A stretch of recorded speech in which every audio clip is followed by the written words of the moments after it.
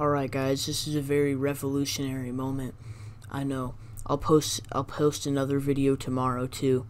Uh so yeah. Face reveal in three, two, one.